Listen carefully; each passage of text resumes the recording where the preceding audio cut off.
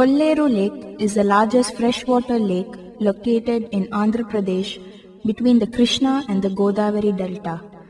It spans into two districts, the Krishna and the West Godavari.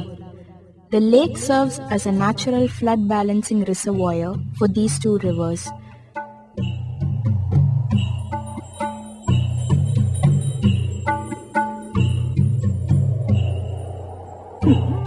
The lake is fed directly by water from the seasonal Budameru and Tamileru streams and is connected to the Krishna and Godavari systems by over 68 inflowing drains and channels.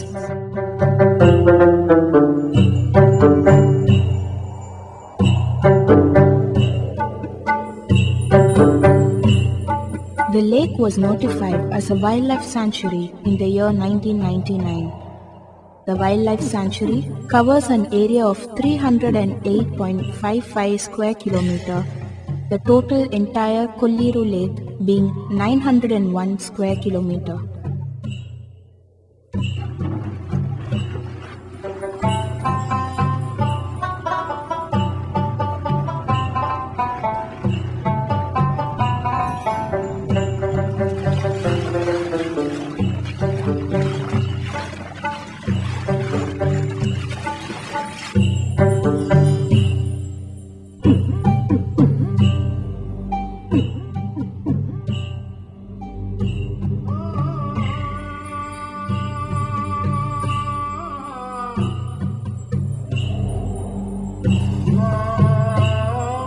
The lake was an important habitat for 20 million resident and migratory birds, including the grey or spot-billed pelican.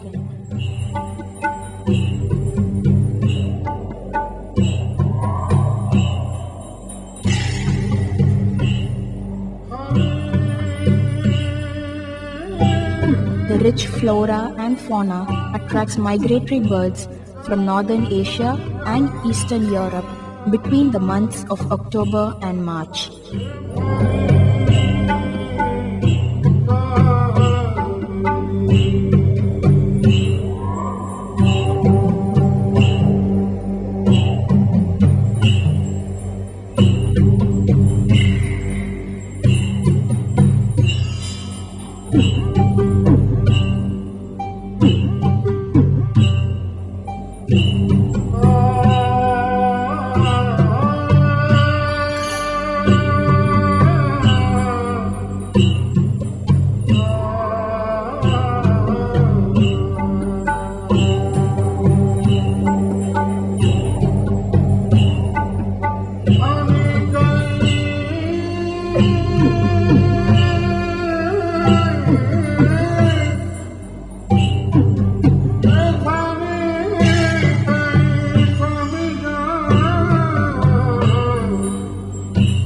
The sun hides with grey herons, egrets, painted storks, and black-headed ibises gathering in thousands at Kolleru Lake.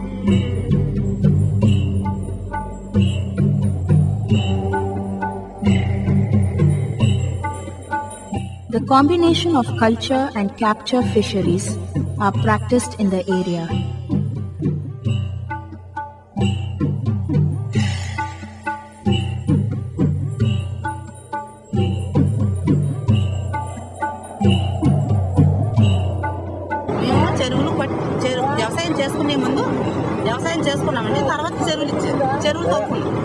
చెరువులు తవ్వుకుంటే చెరువులు కొట్టేశారు. మళ్ళీ వ్యవసాయం మూసుకోవచ్చు అన్నారు. ఆ వ్యవసాయం కూడా దాని ఏమి లేకుండా అది బీడెట్టేసి ఉన్నాయి.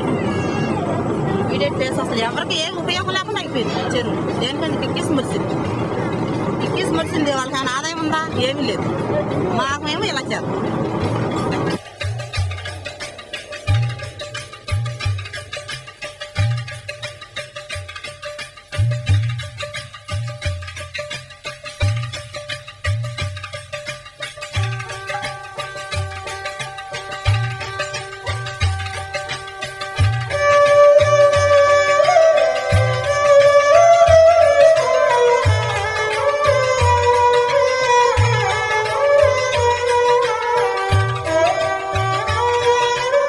Kolletikota, situated in the middle of the lake, has got a temple of the local deity.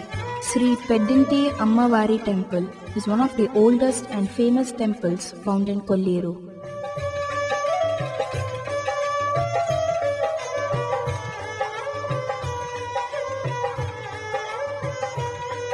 సన్నిధానానికి వచ్చే భక్తులు వారి కోరికలు నెరవేరగానే ఒక అన్నదాన కింద ఒక పది మందిలో యాభై మందిలో వంద మందిలో పిలుచుకొని వచ్చి భోజనాలు చేసుకుంటూ అందరూ కూడా ఈ సరస్సు ఒడ్డున ఉన్న ఈ గుల్లేటి దెబ్బ మీద ఆ జగన్మాత సన్నిధానంలో అందరూ కూడా సామూహికంగా భోజనాలు చేస్తూ సుఖ సంతోషాలతో వర్ధిల్లుతూ ఉంటారు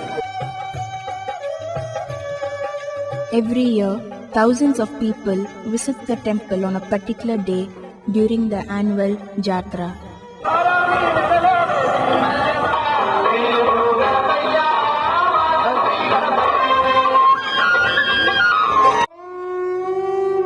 Thousands of fish tanks were dug up, affecting the conversion of the lake into a mere drain. This had a lot of impact in terms of pollution, leading to even difficulty in getting drinking water for the local people.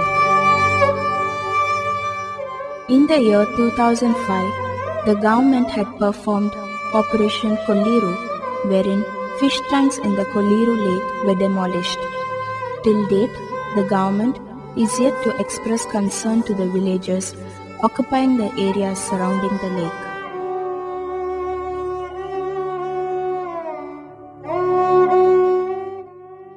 This imbalance has an adverse effect on the thousands of acres of crop in the upper reaches of the sanctuary in view of stoppages of water flow into the sea because of obstruction by bunds of the fish tanks that appeared illegally.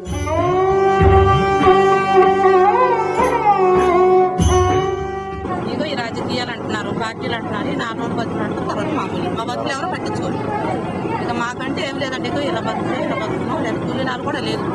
ఏ కోతలు వెళ్తారు కూడా machine కోతలు వచ్చేసింది మిషన్లు వచ్చేసింది అవి కూలీ లేదు. కొల్లెట్లో చేపలు లేవు. అందుకని పైకి వలసలు కోతలు వచ్చారు ఆట ఇక ఏదో దేశ మహారాష్ట్ర అని అవునని ఇవ్వనని ఒక ఊరట్టు కదండి. మొత్తం ఎవరు లేరు. కొద్ది ఆటో వాడు నలుగురు లాంటి వాడు ఎవరు లేరు.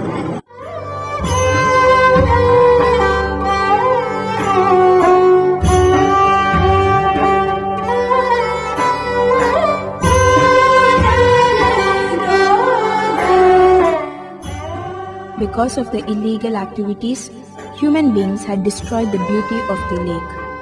It has resulted in adverse effects on thousands of acres of crop.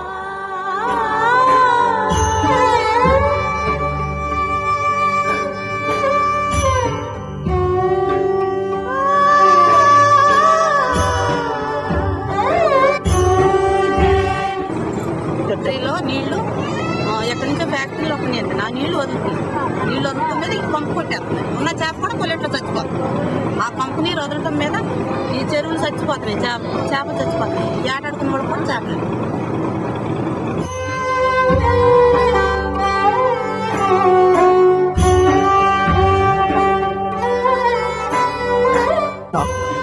What we sow is what we reap. Hence, it is necessary to protect nature and cause no harm for it.